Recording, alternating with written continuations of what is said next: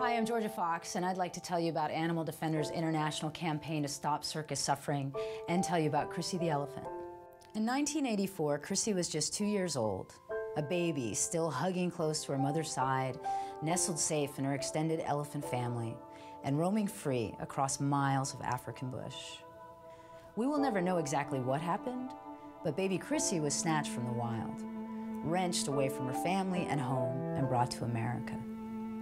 She was passed from one owner to another until she found herself in this man's hands for a life in the traveling circus. This is a bullhook. It's heavy, it's sharp, and it hurts.